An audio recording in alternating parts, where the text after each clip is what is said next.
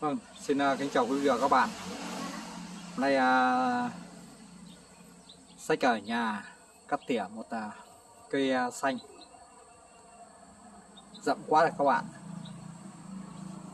Mùa này đáng nghĩa là cũng không uh, lên cắt đâu, thế nhưng mà người ta cứ phải tiến hành, vẫn cứ phải chiến đấu các bạn. Cắt để cho cây uh, lên những uh, đợt uh, dọc mới. Để tạo dựng những đường chi răm cho nó sắc nét hơn để cho nó nhanh hoàn thiện các bạn. Nếu không để cho cuối năm thì chắc chắn là sẽ lâu. Thế nhưng với mùa này là mùa nắng nóng, ta cắt ở cái mức độ vừa phải và lên phải quan tâm đến vấn đề thời tiết một chút các bạn cũng như nhiệt độ. Hôm nắng gắt to là ta phải che dùng lưới tre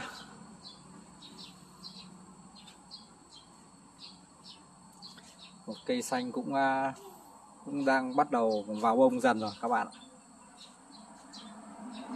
sau đây mời các bạn cùng mà sách à, cắt tỉa nhé.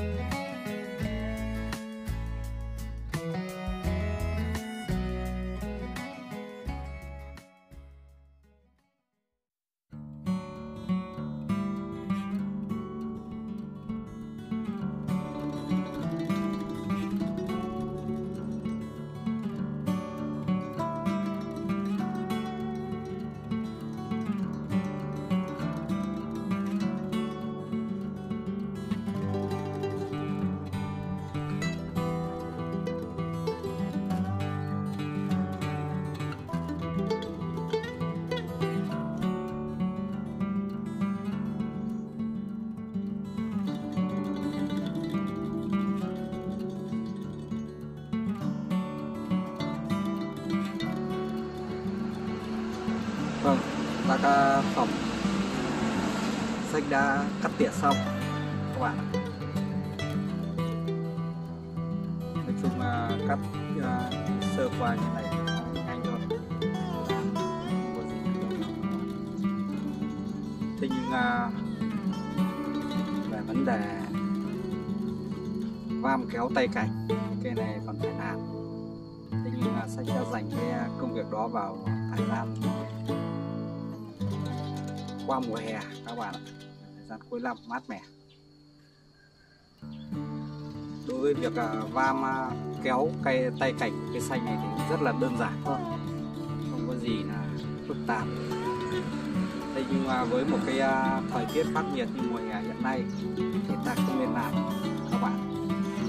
Bởi vì khi ta làm, ta co kéo. Co kéo thì vỏ mặt phần bên trên. Khi mình treo xuống mặt phần bên trên của vỏ cây, nó sẽ bị co giãn.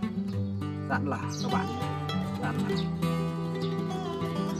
giãn nở thì cây sẽ bị à, chảy nhựa và tổn thương thương da, tổn thương vỏ các bạn. Và ta che đậy không tốt. Thì dưới à, tác động của ánh nắng à, nhiệt độ cao của hè này sẽ làm cho cháy cành cháy thân được đương nhiên các bạn nhé. Và khi cây đã bị cháy thì lại cố rất nhiều năm mới có thể phục hồi được cái vết đó, cây mới có thể đẹp lại được. Cho nên là tốt nhất mùa này ta không nên có kéo cành. Nếu như mà có bắt buộc phải làm thì ta nên làm nhẹ nhàng.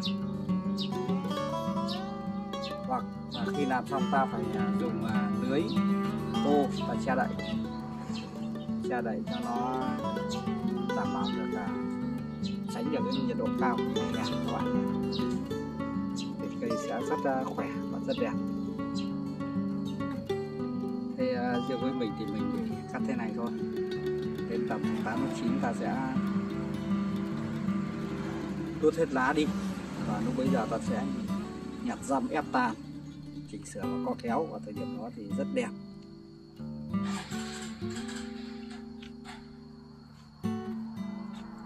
Là những uh, cách làm cũng như là cái kinh nghiệm làm của sách sẽ, sẽ chia sẻ cho các bạn để các bạn cùng à, nghiên cứu và tham khảo.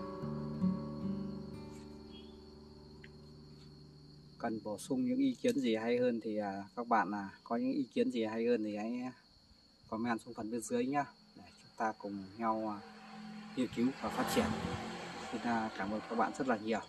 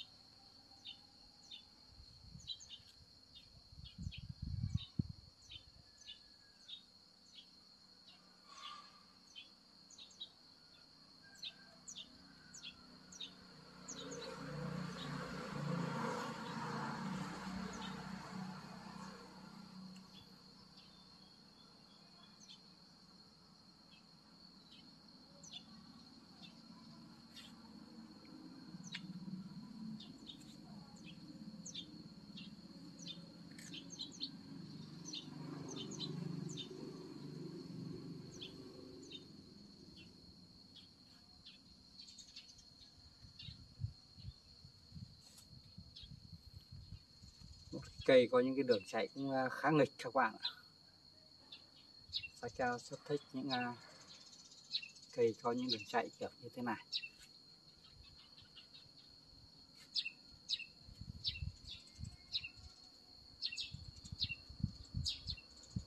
Vâng, chương trình đến đây con đã xin phép được tạm dừng. Xin à, cảm ơn quý vị và các bạn đã quan tâm theo dõi. Xin chào quý vị và các bạn và hẹn quý vị và các bạn vào chương trình sau.